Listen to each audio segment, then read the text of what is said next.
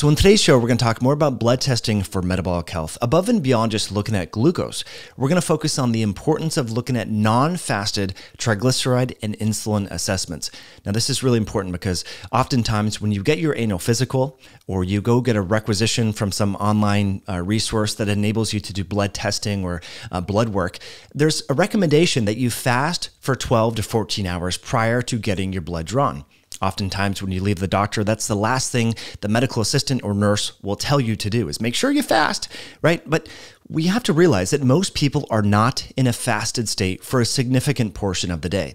Now, some of you may be doing 16 8 intermittent fasting or time restricted feeding and so forth, so you're different from the average American or average person.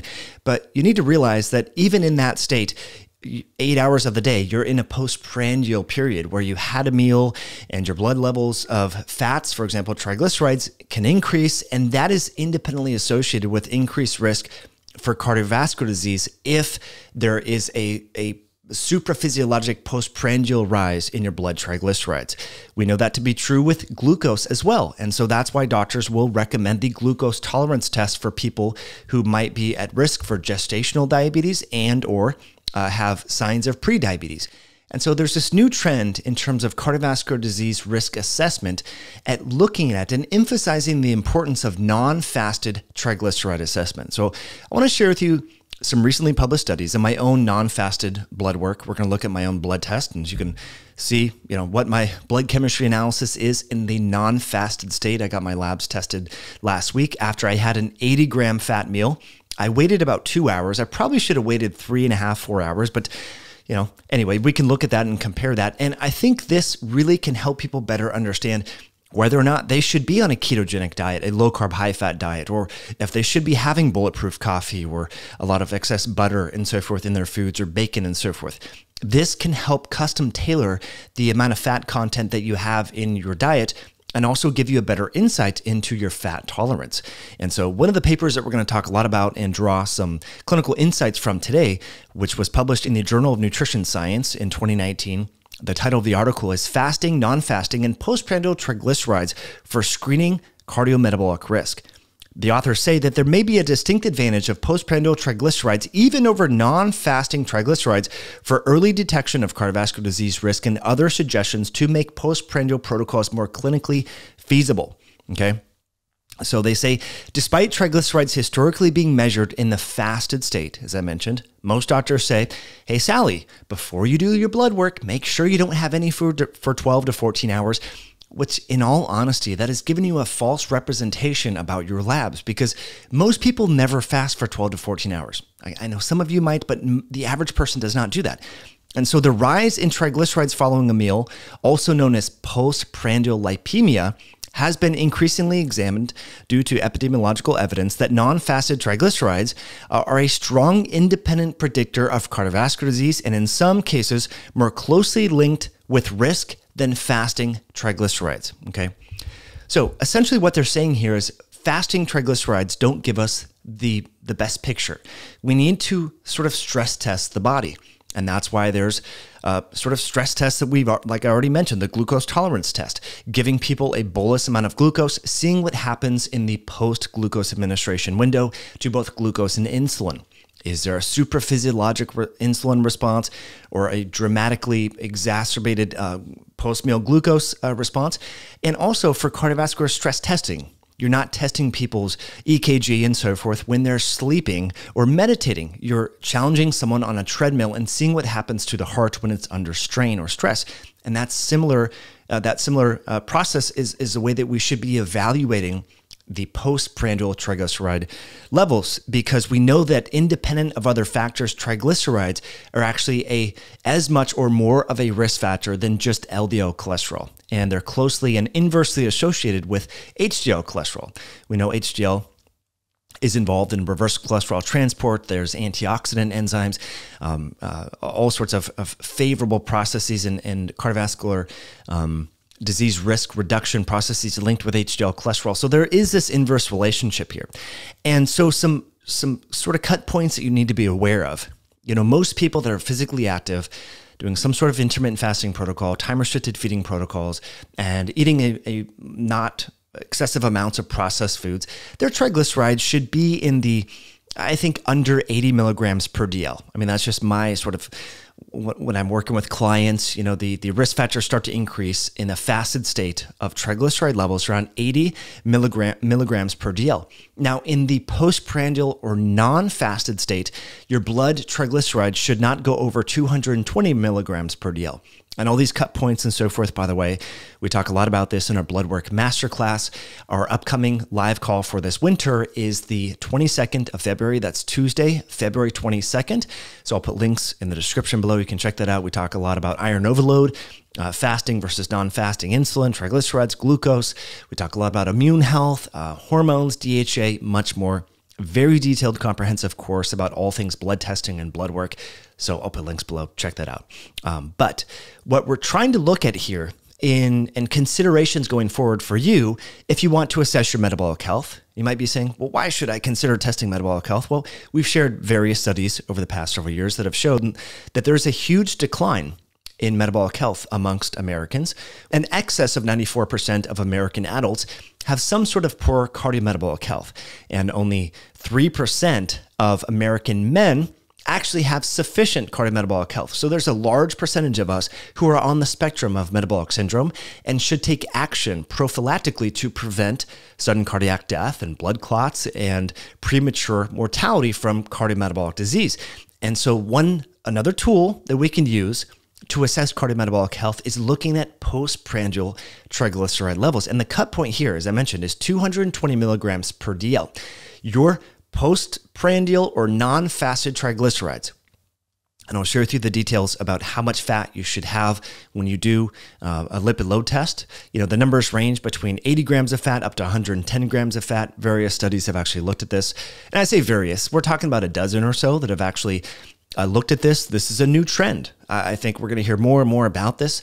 The first time I remember reading about this was in 2009. And since then, there's been a, a plethora of literature that have supported the clinical utility of emphasizing non fasted triglycerides over fasted triglycerides. So, again, what you want to do, practically speaking, once you have your baseline blood tests, you get your annual physical, you work with your doctor, uh, and so forth, and you you do your Chem 24 and CBC, right? So you're looking at you know your iron, your ferritin, your TIBC. You're looking at um, glucose. You're looking at insulin, ApoB to A1 ratio.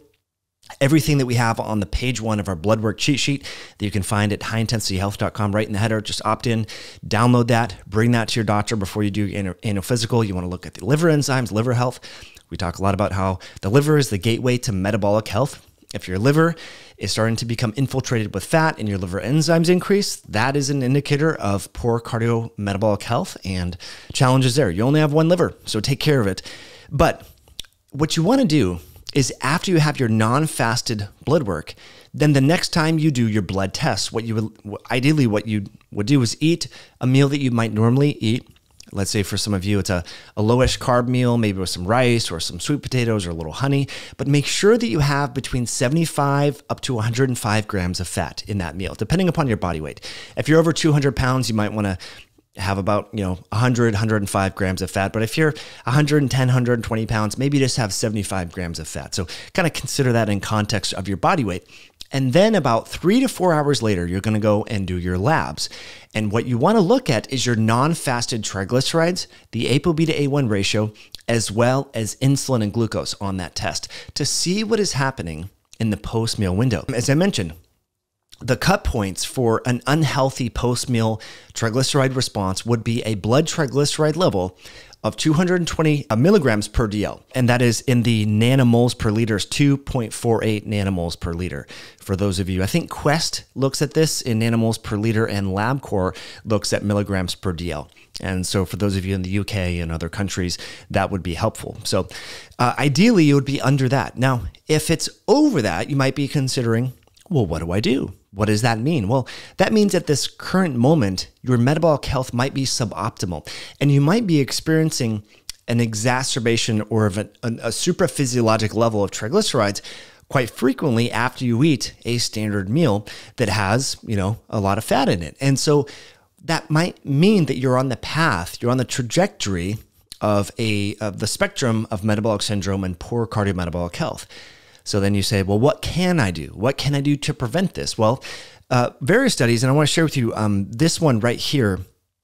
Uh, this is uh, going to be figure one in the um, reference that we talked about. So if you're just listening here, we're looking at the post post meal triglyceride levels in young active versus young inactive and old inactive uh, adults. And what you see here is physically inactive people invariably have hypertriglyceridemia, elevated levels of triglyceride, both in the fasted state and the non fasted state, as is uh, shown here. So, being more physically active, walking after meals, taking a 10 to 15 minute walk, trying to embark on a resistance training program three to five days per week, work with a trainer, focus on compound lifts squats, deadlifts, presses, pulls, rows, all of those things are going to be helpful, as well as periodic one to two days a week of a high intensity interval training program that would include explosive anaerobic uh, movements using high power output. So that's important to recognize. Now, I want to get to my own labs here, uh, but just share with you this image, figure four. And what you can see here is this is the elevation in blood triglyceride levels after the lipid load test. And what you're seeing here is they start to peak around hour four. And so ideally, you would test your blood work. Again, maybe go to the lab three hours after you have the meal. And then if you have the meal, or sorry, the blood work at you know hour three and three and a half hours after your meal, you're gonna get to about the peak of your postprandial triglyceride levels, and ideally they would be under 220 milligrams per DL. And you can start to see here. So um, uh, another several studies have actually looked at uh, looked at the risk, the long term risk associated with a over exaggerated post meal triglyceride response. One of them was the atherosclerosis risk in communities uh, study. This was the ARIC study.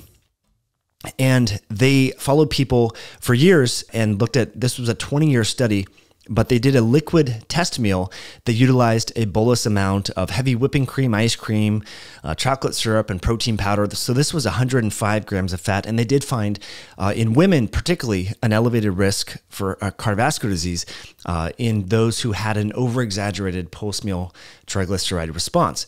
There was also this Norwegian country study involving 86,000 men and women between uh, the years, I think, of like 20 and 56 or something of that effect and they found non-fasted triglycerides were associated with an increased risk of all-cause mortality and death from cardiovascular disease uh, in women mostly uh, but the the men statistically wasn't totally significant um, which is quite interesting but they did find an increased risk particularly in women. So women uh, take take note here uh, and consider. So Let's look at, at my blood work. And I just want to share with you the, the differences here. So I got labs last week, last Thursday. Those non-fasted.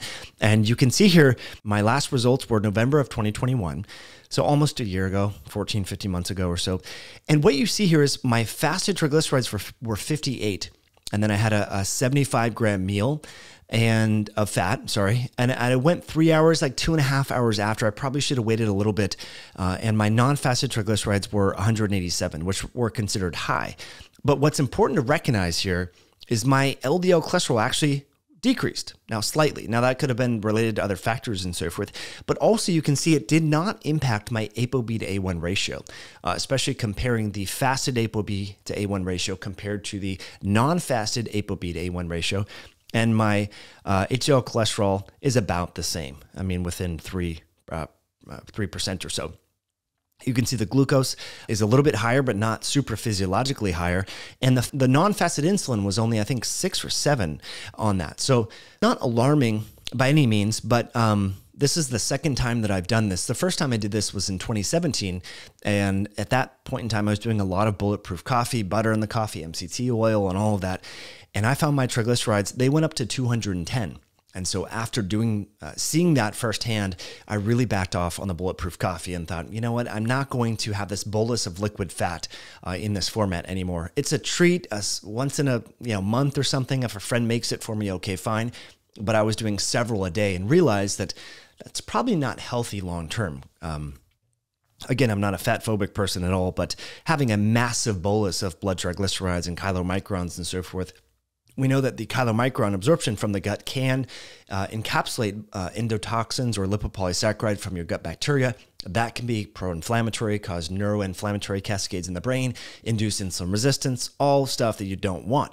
And so you, you want to minimize this. And so um, that's, I think, the important thing to remember is um, these if you are having an over exaggeration of these uh, post meal triglyceride responses, that could be limiting your progress when it comes to improving body composition and metabolic health. So it's important to recognize this and just understand that just because your doctor says, well, we always do blood work non fasted, doesn't mean that you have to do that.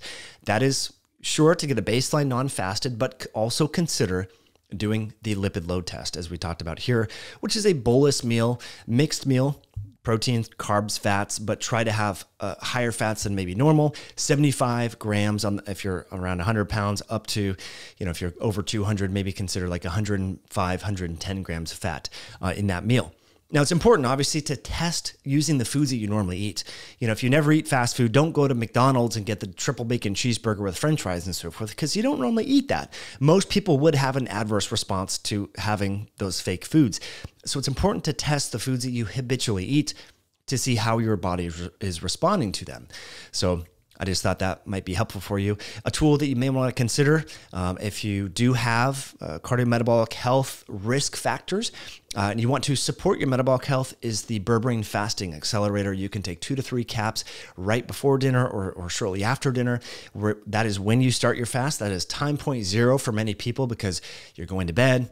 Uh, and then for most people, you're not eating until maybe 11, 12 o'clock. So, Berberine Fasting Accelerator can be a tool to be helpful uh, in that context. Consider to kickstart your fast. I'll put links over at myoxcience.com. You can use the code to save podcast at checkout. And also be sure to enroll in our Bloodwork Masterclass that is starting on the 22nd of February, the winter edition. We have two live calls and there's a bunch of videos in there where you can get started now to learn more about how to be more proactive about blood testing and blood work analysis in your life so that you can be more empowered and know what these trends uh, mean when you get your blood chemistry results so that you can stay on top of your longevity and metabolic health trajectories. So, as always, my friends, thanks for tuning in. Thanks for hitting that like button. Thank you for leaving a comment and sharing this podcast and video. And we will catch you on a future one down the road. Have a great day. Bye now.